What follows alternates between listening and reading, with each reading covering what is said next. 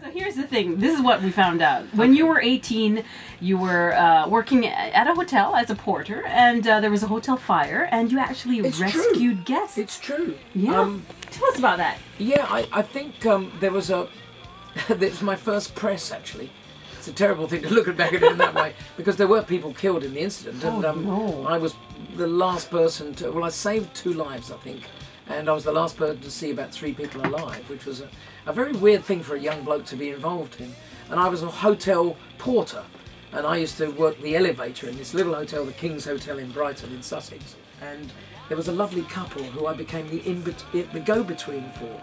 But sadly, they were a couple that um, I was the last person to see them alive.